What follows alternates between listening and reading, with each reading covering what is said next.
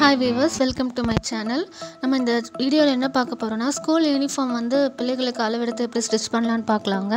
வாங்க வீடியோக்குள்ளே போகலாம். இப்போ வந்து அளவு சட்டை எடுத்துக்கோங்க.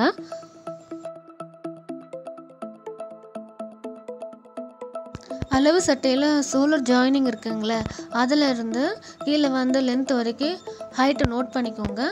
மேல் பக்கம் கால் இன்ச்சு விட்டால் போதுங்க. நான் அரை இன்ச்சு விட்டிருக்கேன். அதே மாதிரி கீழே வந்து ஒரு இன்ச்சு விட்டுருக்கேன். மொத்தம் பதினெட்டு புள்ளி அஞ்சு இன்ச்சு இருக்குங்க.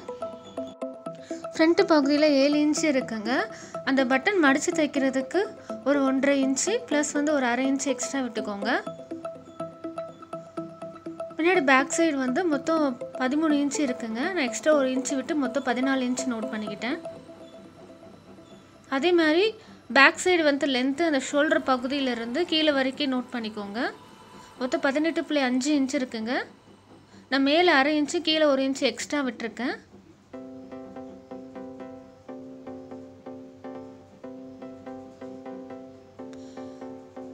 இப்போ வந்து நம்ம அந்த கைப்பகுதியில் இருக்கிற எவ்வளோ லென்த்து நோட் பண்ணிக்கோங்க. ஆறு இன்ச்சு இருக்குங்க. நான் ப்ளஸ் டூ இன்ச்சு விட்டுட்டு அதே மாதிரி எட்டு இன்ச்சு விட்டுருக்கேங்க. இப்போ ஆம்கோல் பகுதி வந்து மொத்தம் வந்து பன்னெண்டு சுற்றளவு இருக்குங்க. அதில் ஒரு இன்ச்சு எக்ஸ்ட்ரா விட்டுட்டு பதிமூணு விட்டுருக்கேன். கையோட அளவு ஆறு இன்ச்சு இருக்குங்க. அதே மாதிரி கையோட சுற்றளவு வந்து ஒன்பது இன்ச்சு இருக்குங்க.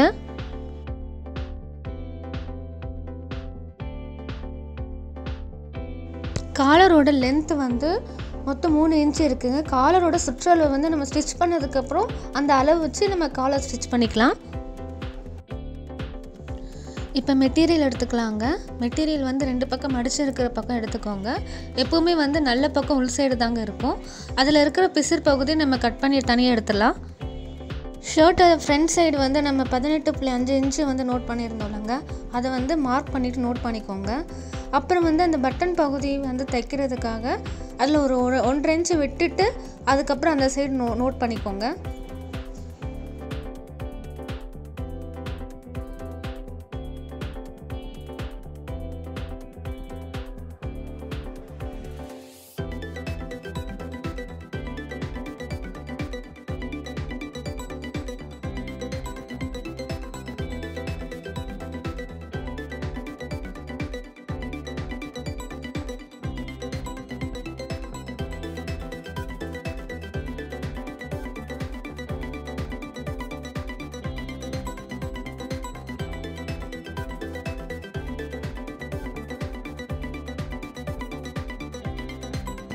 அந்த ஷோல்டரில் வந்து நீங்கள் நோட் பண்ணியிருந்தது. நீங்கள் இப்போதைக்கு க்ராஸாக கட் பண்ண வேணாங்க. ஸ்ட்ரெயிட்டாக ஒரு லைன் போட்டுக்கோங்க. அதுக்கப்புறம் வந்து அந்த நம்ம ஜஸ்ட் பகுதியில் வந்து அந்த கையோட அளவுக்கும் இதுக்கும் வந்து மொத்தம் ஆறு இன்ச்சு கிட்டே இருந்துச்சுங்க. எக்ஸ்ட்ராவே வந்து ஒரு ஒரு இன்ச் ஒன்றரை இன்ச்சு விட்டுட்டு நீங்கள் லைன் போட்டுக்கோங்க. இப்போ எப்படின்னா நம்ம மேலே வந்து நம்ம அந்த க்ராஸாக கட் பண்ணலைங்க. ஸோ நம்ம மேலே இருந்து கீழே ஆம்கோல் அளவு ஒரு ஏழு இன்ச்சு இல்லை ஏழு இன்ச்சு வச்சுட்டு இந்த மாதிரி லைன் போட்டு மட்டும் பாக்ஸ் மாதிரி போட்டு வச்சுக்கோங்க. இப்போ நம்ம ஃப்ரண்ட் பகுதியும் பேக் சைட் பகுதியுமே ரெண்டாக சேர்த்து வச்சு நம்ம வந்து அந்த கிராஸை கட் பண்ணிக்கலாங்க. இப்போ இதெல்லாம் அளவு நீங்கள் நோட் பண்ணி வச்சுக்கோங்க. நெக்ஸ்ட்டு வந்து நம்ம நெக்கோட அளவு எப்படிங்கன்னா அதில் வந்து ரெண்டே கால் இன்ச் இருக்குங்க. ரெண்டே கால் இன்ச்சுக்கு நீங்கள் நோட் பண்ணிக்கோங்க. ரெண்டு சைடுமே ரெண்டே கால் இன்ச்சு நோட் பண்ணிக்கோங்க. இப்போ ஆம்கோல் வந்து கரெக்டாக வந்து ஒரு ஏழு இன்ச் இருக்கிற மாதிரி நோட் பண்ணிவிட்டு கரெக்டாக ஒரு கர்வ் லைன் மாதிரி வரைஞ்சிக்கோங்க.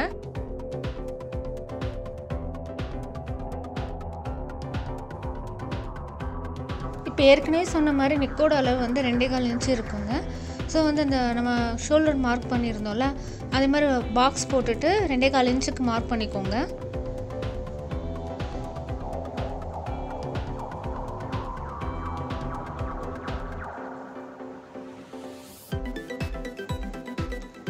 இப்போ வந்து நம்ம வளைவாக கட் பண்ணுன்றது அவசியம் இல்லைங்க. கிட்ஸ்க்காக நம்ம வந்து அப்படியே வந்து லைன் போட்டு வச்சுக்கோங்க. கட் பண்ணும்போது நம்ம பார்த்து கட் பண்ணிக்கலாம்.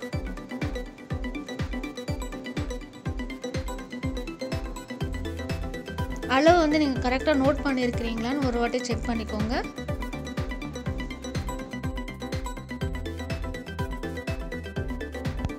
இப்போ அளவு மார்க் பண்ண பகுதியை நம்ம கட் பண்ணி தனியாக எடுத்து வச்சுக்கலாங்க.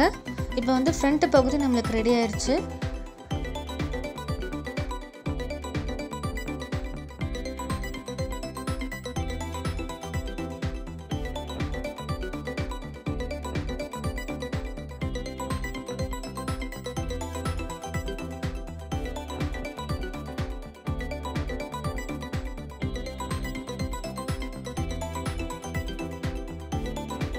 பேக் சைட் பகுதியை நம்ம கட் பண்ணுறதுக்கு அளவு நோட் பண்ணிக்கலாங்க. இப்போ நம்ம ஃப்ரண்ட் சைட் க கட் பண்ணியிருந்தோம்ல அதவே அளவு வச்சுக்கலாங்க.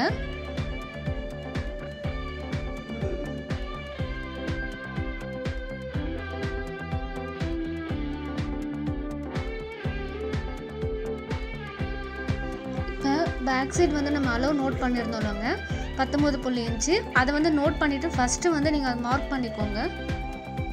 மார்க் பண்ணிவிட்டு ஒரு லைன் போட்டுக்கலாம். அதுக்கப்புறம் வந்து அதை மேலே வச்சுட்டு நம்ம அளவு வந்து பேக் சைடு நோட் பண்ணிக்கலாம்.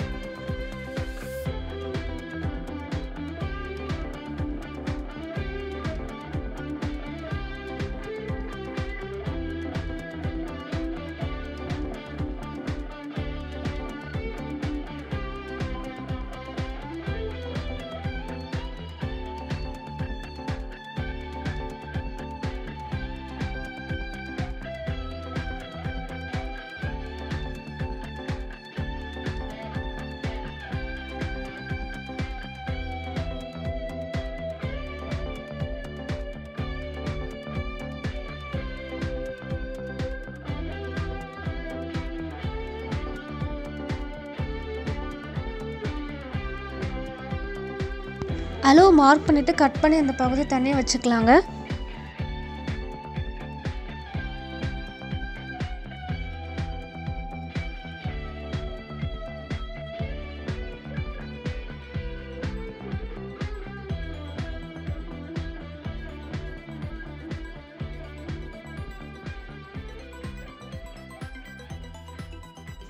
பேக் சைடு வந்து ஷோல்டர் பகுதி ஒரு இன்ச்சு மட்டும்தான் நாங்கள் நான் விட்டுருக்கேன். அந்த நம்ம ஷோல்டர் பகுதி நோட் பண்ணியிருந்தோம்ல அதில் இருந்து ஒரு வளைவாக இப்போ லைன் போட்டுக்கோங்க. லைன் போட்டுவிட்டு அதை கட் பண்ணிடலாம்.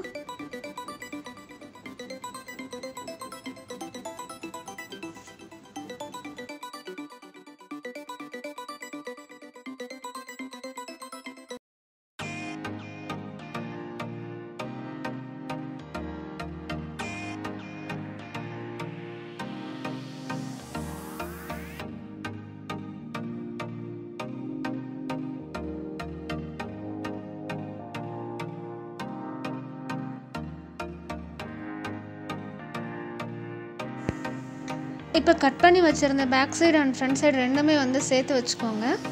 சேர்த்து வச்சுட்டு நம்ம வந்து ஷோல்டரில் வந்து இந்த கிராஸ் கட் பண்ணிக்கலாங்க. நான் ஒரு இன்ச்சு மட்டும் நோட் பண்ணியிருக்கேன். ஒரு இன்ச்சு நோட் பண்ணிவிட்டு நீங்கள் அந்த ஷோல்டர் பகுதியிலேருந்து ஒரு லைன் போட்டுட்டு நீங்கள் கட் பண்ணிக்கலாம்.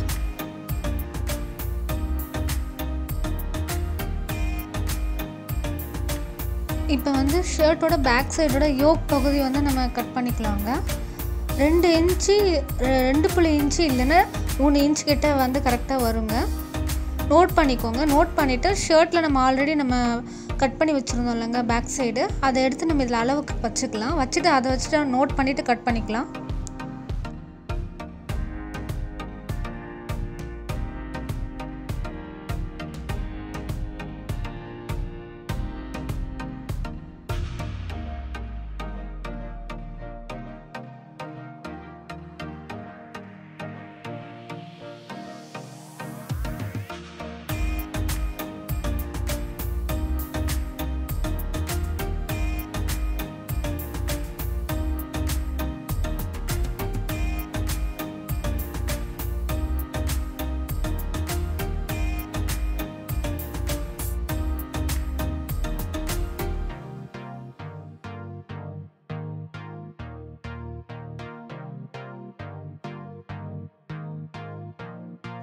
ஃப்ரண்ட் பகுதியில் அந்த பட்டன் மடிச்சு தைக்கிறதுக்கு நம்ம எக்ஸ்ட்ரா துணி one one point five inch விட்டுருந்தோம்லாங்க.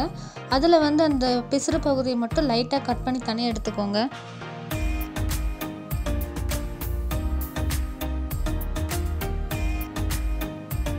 இப்போ கையோட அளவு நோட் பண்ணிக்கலாங்க. ஒரு இன்ச்சு வந்து மடித்து ஸ்டிச் பண்ணுறதுக்கு விட்டுட்டு லைன் போட்டுக்கோங்க. சுற்றளவு வந்து ஒன்பது இன்ச்சு இருந்துச்சுங்க. ஒன்பது இன்ச்சு ப்ளஸ் ஒரு இன்ச்சு சேர்த்துக்கிட்டிங்கன்னா பத்து இன்ச்சு வரும்னு சொல்லியிருந்தாங்க. இப்போ நாலு மடிப்பாக போட்டிருக்கிறனால நம்ம வந்து அஞ்சு இன்ச்சாக நோட் பண்ணிக்கலாம். இப்போ ஆம்கோல் சைஸ் வந்து ஆறு இன்ச்சுங்க ஆறு இன்ச் நோட் பண்ணிக்கிறோம். அதே மாதிரி மா மார்க் பண்ணிவிட்டு இதுக்கும் இதுக்கும் ஒரு லைன் போட்டுக்கோங்க. இப்போ கீழே வந்து லென்த் எவ்வளோன்னா நாலு புள்ளி அஞ்சு இருக்குங்க. மேலே லென்த்து ஆறு இருக்குங்க. இப்போ ரெண்டுத்துக்குமே வந்து ஒரு கேர்வ் லைன் மாதிரி போட்டுக்கலாம். இப்போ லைன் போட்டுட்டு நம்ம அந்த பீஸை வந்து தனியாக கட் பண்ணி எடுத்துக்கலாங்க.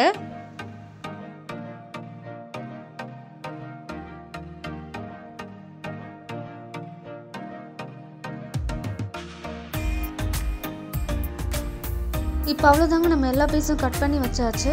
இப்போ வந்து ஃப்ரண்ட் பகுதி எடுத்துக்கோங்க நம்ம ஸ்டிச் பண்ணுறதுக்கு இப்போ பட்டன் பகுதியை வந்து நீங்கள் நல்லா அயன் பண்ணிட்டீங்கன்னா உங்களுக்கு வடிச்சு தைக்கிறதுக்கு ரொம்ப யூஸ்ஃபுல்லாக இருக்குங்க. இப்போ ரெண்டுமே வந்து ஒரு மடிப்பு உள்ளே தள்ளி ரெண்டுமே வந்து ஸ்டிச் பண்ணிடலாங்க ஸ்டிச் பண்ணி தனியாக எடுத்துடலாம்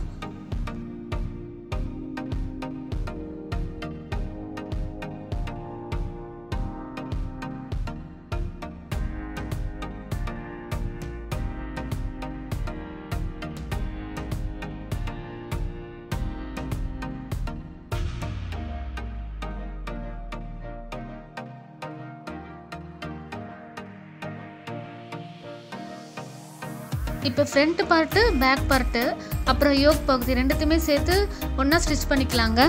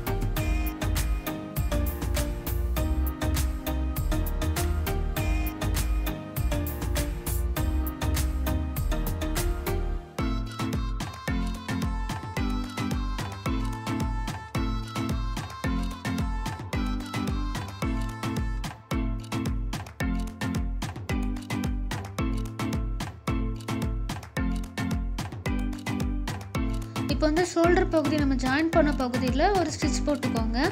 நெக்ஸ்ட்டு வந்து இது ரெண்டுத்தையுமே நம்ம ஸ்டிச் பண்ணதுக்கப்புறம் இந்த யோக் பகுதியில் கீழே வந்து நீங்கள் மடித்து ஸ்டிச் பண்ணால் போதுங்க.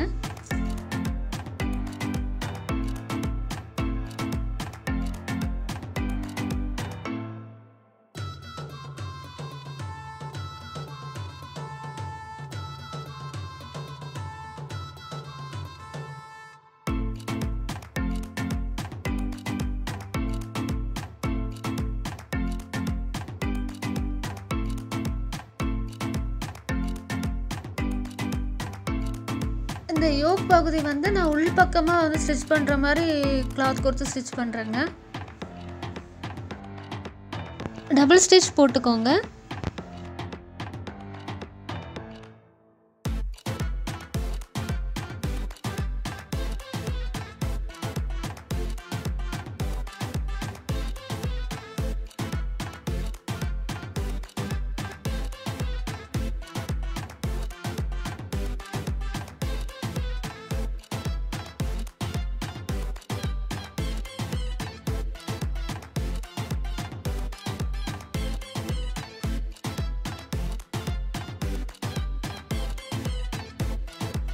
இப்போ ஃப்ரண்ட் பகுதி பேக் பகுதி ரெண்டுமே வந்து நம்ம ஜாயின் பண்ணியாச்சுங்க. இப்போ வந்து கை ஜாயின் பண்ணலாம். எப்படி பண்ணுறோன்னு பார்க்கலாங்க.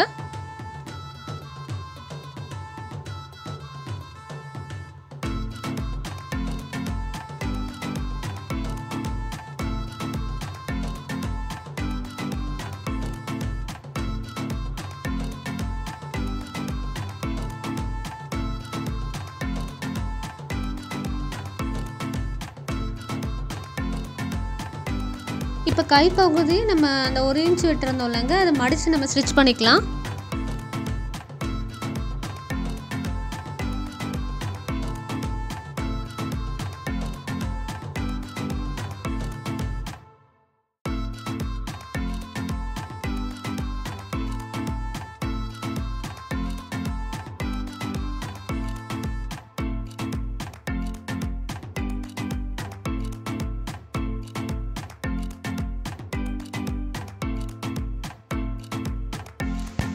இப்போ கை பகுதியில் சென்டர் பாயிண்ட் வந்து நோட் பண்ணிவிட்டு நம்ம ஜாயின் பண்ணிக்கலாம்.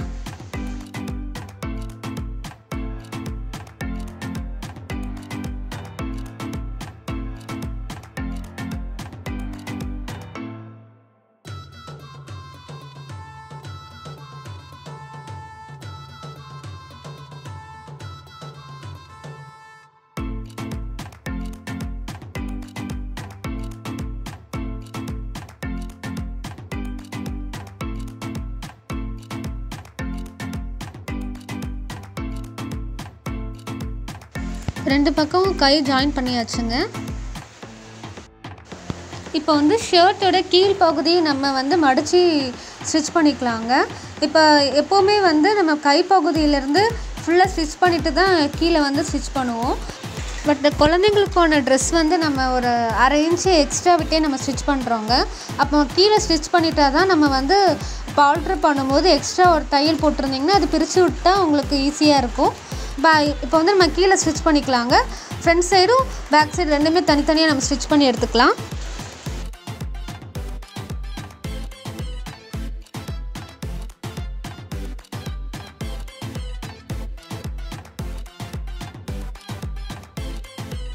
பக்கம் ஸ்டிச் பண்ணியாச்சுங்க. அதே மாதிரி நம்ம கையில இருந்து ரெண்டு பக்கமும் நம்ம ஸ்டிச் பண்ணிக்கலாம்.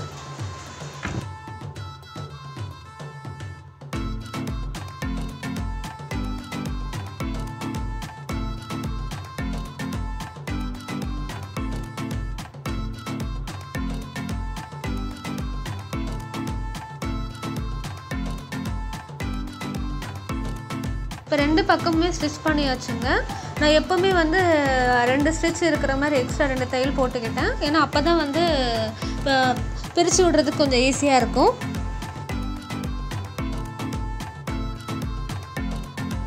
காலர் பகுதி சுற்றளவு வந்து பதிமூன்றரை இன்ச்சு வருதுங்க.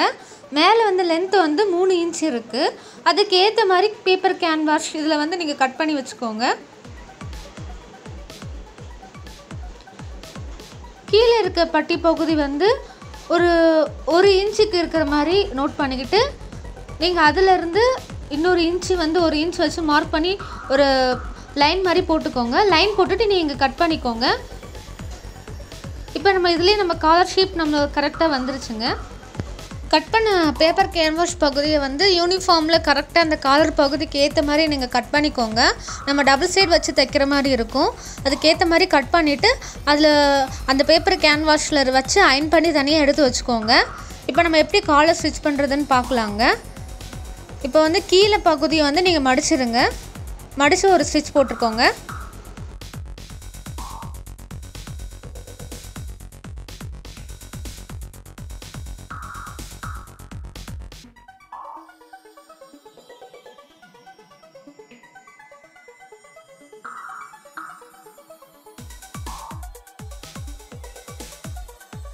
இப்போ அந்த டபுள் கிளாத் துணியை வந்து ரெண்டாக மடிச்சுக்கோங்க.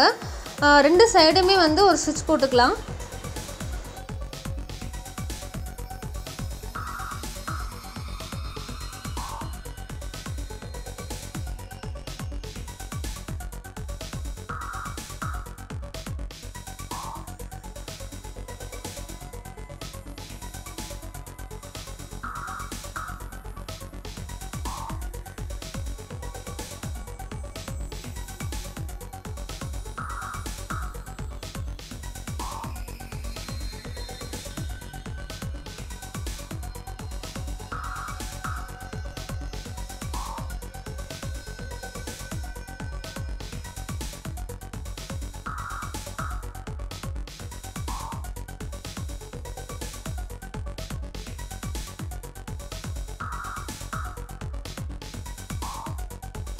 இப்போ எக்ஸ்ட்ரா பகுதியை வந்து நம்ம கட் பண்ணிக்கலாங்க.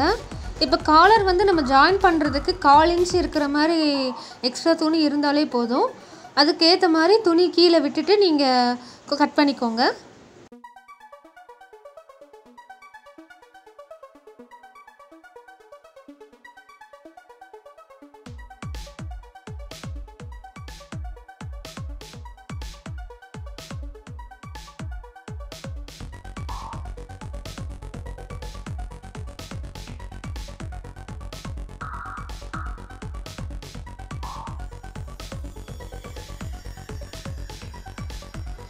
காலர் பகுதியில் சென்டரில் வந்து ஒரு ஸ்டிச் போட்டுக்கோங்க.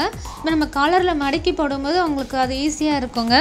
இப்போ பெரிய காலரில் நம்ம ஸ்டிச் பண்ணும்போது அது தனித்தனியாக பீஸ் இருக்கிறனால நம்ம ஈஸியாக பண்ணிக்கலாம். இப்போ கிட்ஸ்க்குனால நம்ம வந்து ஒரே பீஸாக நம்ம ஸ்டிச் பண்ணிக்கலாம்.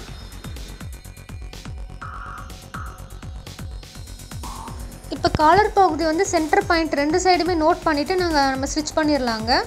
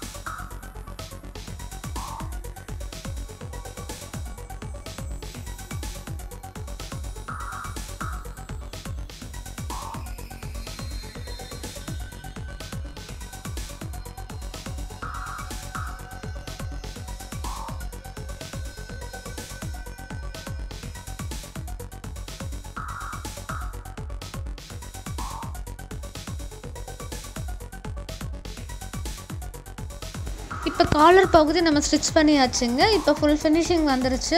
இப்போ வந்து நம்ம காஜா பட்டன் வச்சிட்டோன்னா நம்மளுக்கு ஷர்ட் வந்து நல்லா பார்க்குறதுக்கு நல்லா லுக்காக இருக்குங்க. இது வந்து ஒரு ஆறு வயசு பாப்பாவுக்கு கொஞ்சம் கரெக்டாக இருக்குங்க. இப்போ பார்த்தீங்கன்னா ஸ்டிச் பண்ணதுக்கப்புறம் பாருங்கள் எப்படி நல்லா இருக்குது இந்த வீடியோ உங்களுக்கு பிடிச்சிருந்தா லைக் பண்ணுங்கள் கமெண்ட் பண்ணுங்கள் ஷேர் பண்ணுங்கள் தேங்க்யூ